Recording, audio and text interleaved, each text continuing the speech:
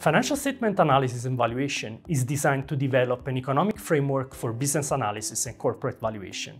The main focus of the course is on integrating key concepts from economics, accounting, and finance to enable students to effectively evaluate the information content of financial reports, develop applied knowledge of fundamental analysis and state-of-the-art valuation techniques, and finally to successfully design and deploy investment strategies.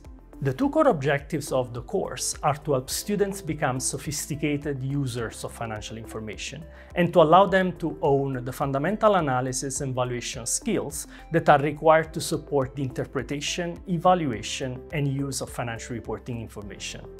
Ultimately, students will learn how to exploit accounting information signals to identify mispriced securities and to build trading strategies for value investing in equity and credit markets.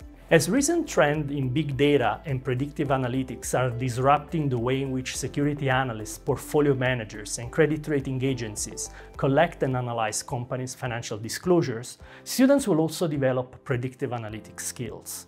By the end of the course, they will be able to manipulate and analyze large financial datasets using spreadsheets and statistical software packages, and to estimate complex prediction model and backtest trading algorithms. Students enrolled on the course work together in what I call financial analyst teams. Like in the real business world, at the start of the course, each financial analyst team will be assigned a company to analyze and value.